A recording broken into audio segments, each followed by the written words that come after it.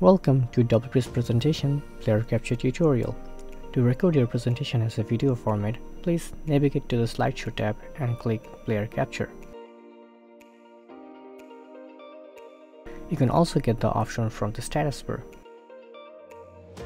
Once you open up the menu, check the voice input, moving path and watermark option to your need.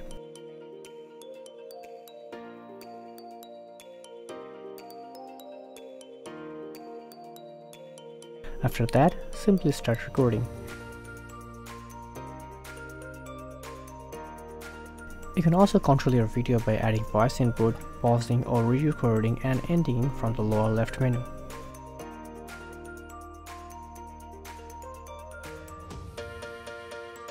Once the recording is finished, it will be saved to your local drive.